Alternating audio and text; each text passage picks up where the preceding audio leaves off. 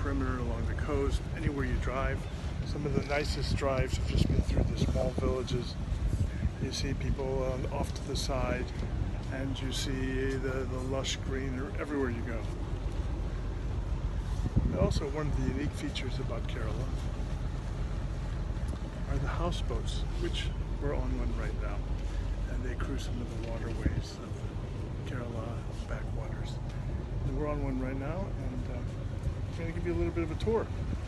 Uh, I was introduced to the staff, three people on, uh, this boat operating it, and uh, we can take a look here at the front. There's also say other staff people that you'll be meeting shortly, but you can see other houseboats as we cruise along. That is greeted with bananas, apples, oranges, grapes. And we'll take a little walk through the houseboat. There's a, as you see, there's a dining room. You know, they're preparing a meal for me. It's not often I get to have a meal like this.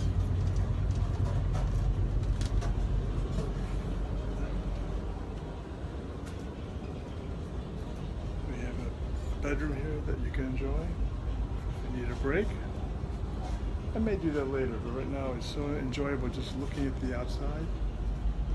These houseboats can be uh, like this, which is very traditional in terms of its amenities. Or uh, I know that we've passed some where you see big screen TVs, fancy furniture. Here, the shower, the toilet, so quite well outfitted.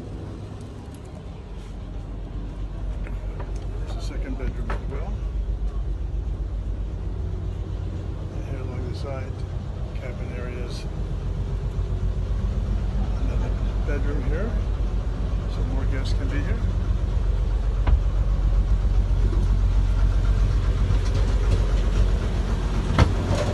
I wanted to uh, share the kitchen. You want to say hello? Tell us, tell everyone what we're going to have today. Yo, I'm making the yogurt curry.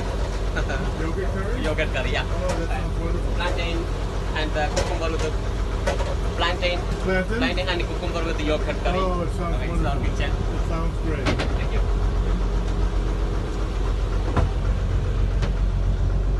So, you see what awaits, what awaits me and what awaits you when you come to. We'll show you an incredible time here. It's nice to go from place to place. This is for a couple nights. Stay in a lodge up in the coffee country, spice country, where you're staying in a beautiful place near here, or you could actually stay on the houseboats if you need more luxurious. We can arrange that. But it's a very different India than the north, where I've been eight or nine times. Here you find uh, something quiet. You don't find any industry. You don't find pollution because there is no industry. And one of the things that I have found very interesting here about Kerala is the literacy rate is about 100%. So the result is you don't see the poverty that sometimes shocks people who, who come to India and have not traveled to third world countries. Uh, that's really in other parts of the country, but here in Kerala, you don't see that. Food is everywhere. You find banana trees, trees with all types of food on them are everywhere. The simplest homes, in the backyards, you find it. So it really makes Kerala different. The other thing is what makes Kerala special is every Kerala family has someone who has moved abroad.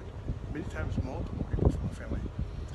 Because of the education level, they go abroad, they live abroad, and they send remittances back here to Kerala to their families. And the result of this is that you have a a more affluent population. People are able to to build homes, uh, have houseboats like this, and the lifestyle is just one that year-round weather being perfect.